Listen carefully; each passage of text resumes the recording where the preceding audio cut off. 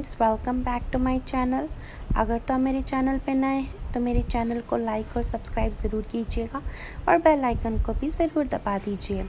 So friends आज की जो मैं रेसिपी लेकर के आई हूँ, ये बहुत ही चटपटी सी, एक इमली की चटनी है, जो बिल्कुल बाज़ार की तरह है।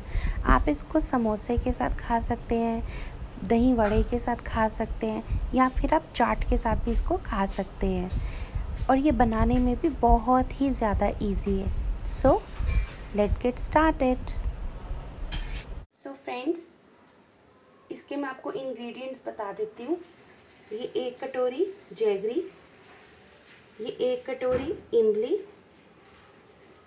ये सात से आठ खजूर, जिसको हम डेट्स बोलते हैं, और ये अदरक। अब हम इमली डेट्स और अदरक को गर्म पानी में एक घंटे के लिए रख देंगे। ये देखिए, अब हम गर्म पानी में इमली को डाल रहे हैं।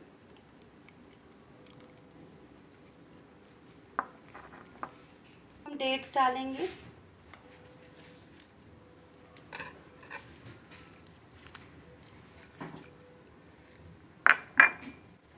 अदरक डाल रहे हैं हम।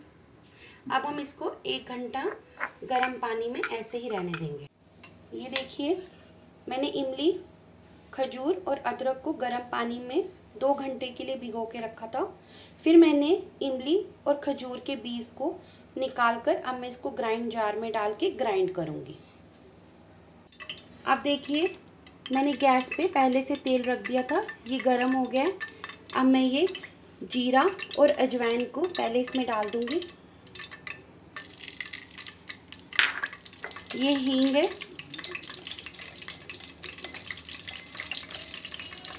ये मैं हींग भी इसमें डाल दूँगी।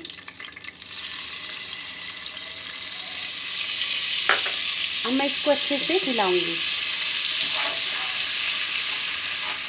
ये देखिए, मैं इसको हिलाया अच्छे से।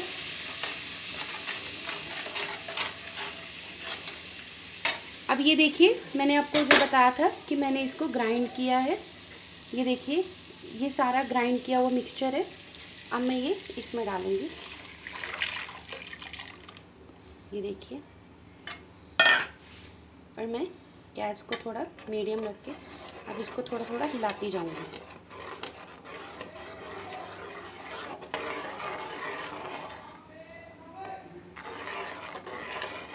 ये देखिए।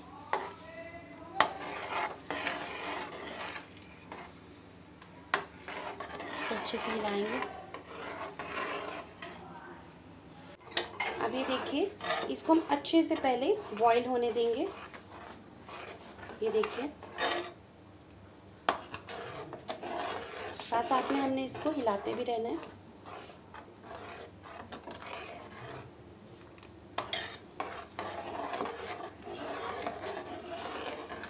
ये देखिए।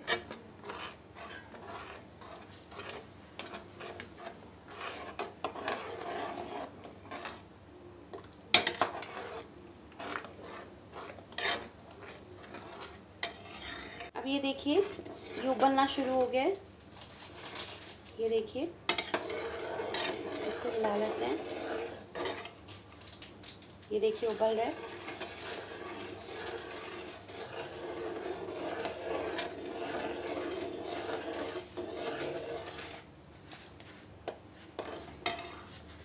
देखिए, ये उबलना शुरू हो गया ये मैंने जैगरी को पहले से ही पानी में भिगो के रखा था।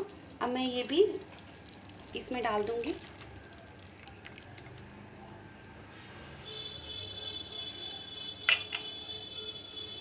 और इसको मैं अच्छे से हिला लूँगी।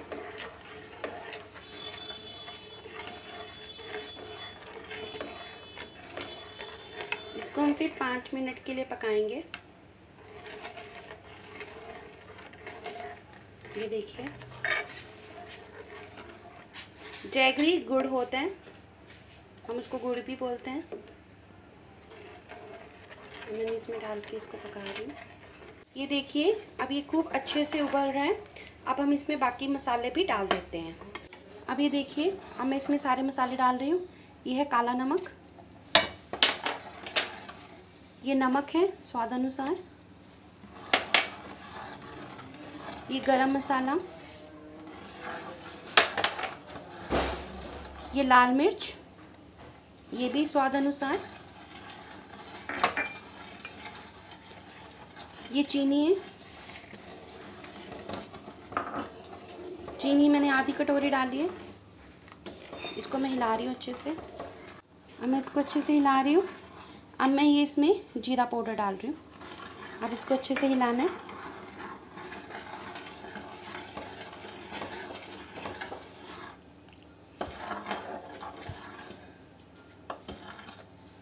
इसको थोड़ा घना होने तक हम इसको पकने देते हैं। ये देखिए, ये पकना भी स्टार्ट हो रहा है। देखिए। ये देखिए, ये पक रही है। अभी हम, मैंने इसको थोड़ा और पकाना है। ये देखिए। ये देखिए, अब ये गाढ़ी हो गई है। ये देखिए। अगर ये कड़छी के साथ चिपकना शुरू हो जाए तो इसकी कंसिस्टेंसी जो है बहुत अच्छी होती है। ये देखिए। अब मैं इसके बीच में किशमिश, ये देखिए, और वाटरमेलन सीड्स डालूँगी। और इसको अच्छे से हिला लूँगी ये देखिए, अभी हमारी इमली और खजूर की चटनी जो है, ये तैयार है। ये देखिए।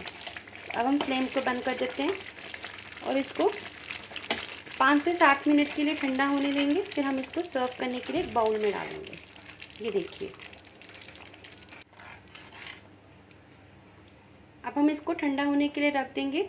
उसके बाद फिर मैं इसको बाउल में डाल दूँगी। अब ये देखिए, हमारी चटनी तैयार है।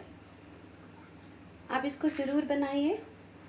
और जब बना लेंगे खा के मुझे नीचे कमेंट बॉक्स पे ज़रूर बताइए कि आपको ये मेरी रेसिपी कैसी लगी।